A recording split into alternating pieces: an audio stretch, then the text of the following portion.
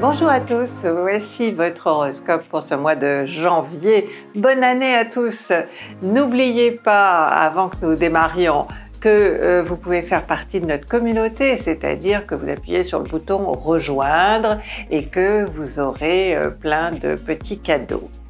Ensuite, euh, il y a 12, notre site où vous pouvez faire euh, des compatibilités, euh, avoir un horoscope, euh, votre thème astral même. Vous avez également les consultations avec Zoé ou avec moi au téléphone et vos réseaux sociaux avec des petits posts quotidiens. Lion et ascendant Lion dans votre horoscope de ce mois de janvier. Euh, n'oublions pas quand même que Jupiter, la planète de chance, est entrée en poisson fin décembre. On n'en avait pas parlé le mois dernier, mais bon là c'est quand même important. Hein. Elle va rester dans le premier décan des poissons jusqu'au 12 février. Que euh, fait Jupiter en poisson? D'abord, elle, est chez elle. Hein, c'était avant la découverte de Neptune, Jupiter dirigeait, euh, régentait les poissons. Donc, euh, elle est très forte. Hein.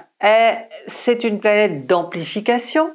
Hein. Elle, euh, disons qu'elle euh, met une grosse loupe sur les sujets ou les situations hein, qu'elle représente.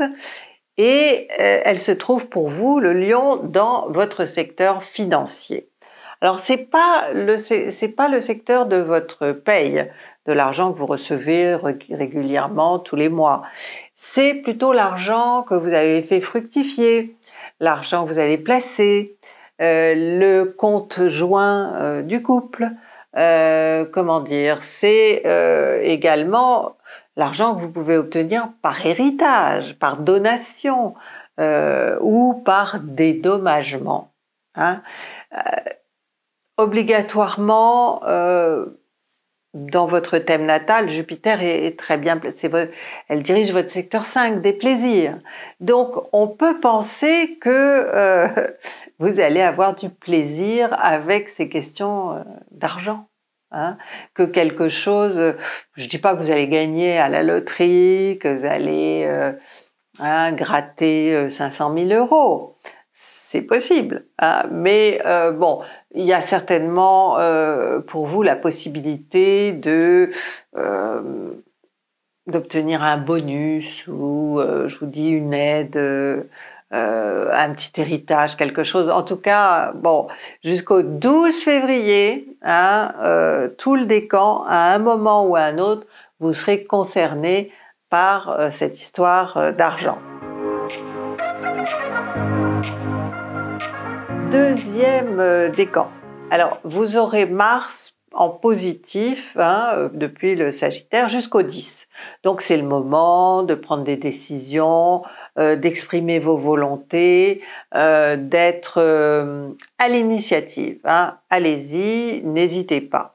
Bon, c'est vrai que malheureusement, en même temps, il y a une opposition de Saturne sur votre décan elle va être là, euh, vous ne pourrez pas faire autrement que de ralentir alors que Mars vous dit de faire vite.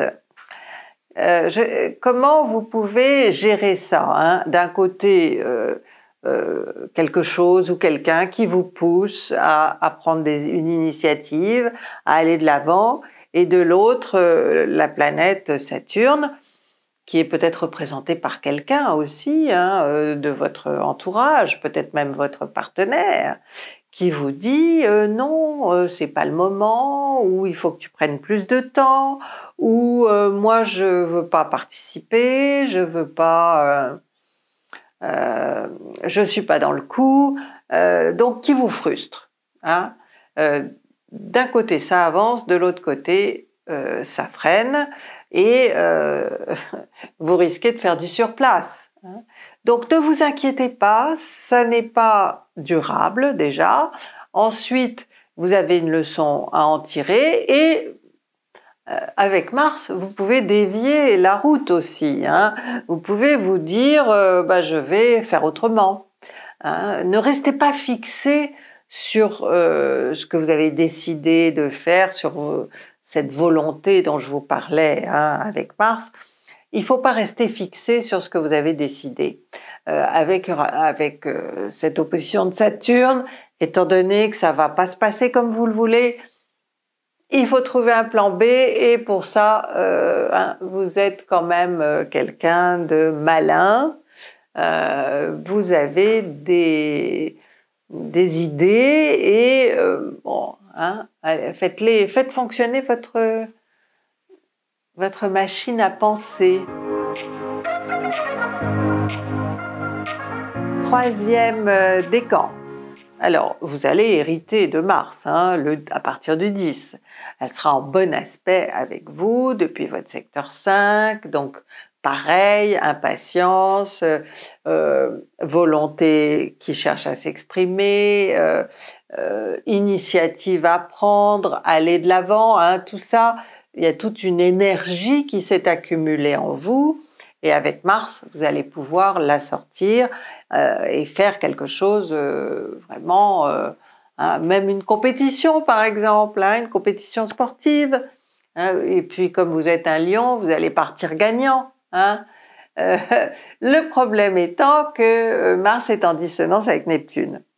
Bon, ce n'est pas forcément, c'est pas forcément un frein, au contraire il est possible que vous en fassiez trop, hein, que vous vouliez aller trop vite, euh, que vous vouliez trop en faire, euh, ou alors que vous cherchiez des moyens pas toujours très catholiques euh, pour arriver, pour atteindre votre objectif.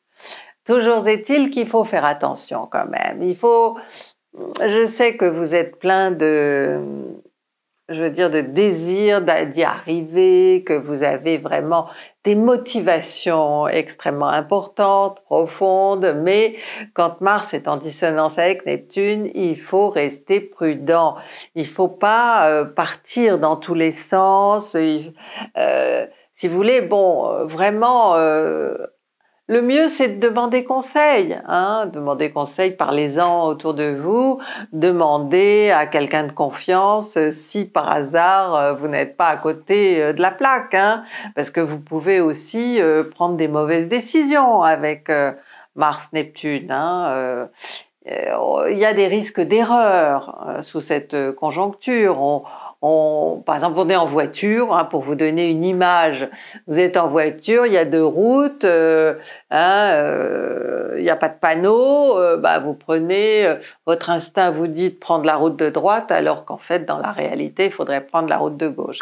Donc, vous voyez, vous allez vous trouver un petit peu dans ce genre de situation. Faites-vous aider. Pour terminer, alors, vous avez votre vidéo euh, votre année 2022 signe par signe sur la chaîne. Ensuite, vous avez mes petits bouquins que vous pouvez euh, commander euh, sur Amazon. Le hors-série du version féminin qui est extrêmement complet aussi sur l'année 2022. Et puis, si vous avez besoin d'en savoir encore plus, le 3210 et le site du Figaro TV Magazine.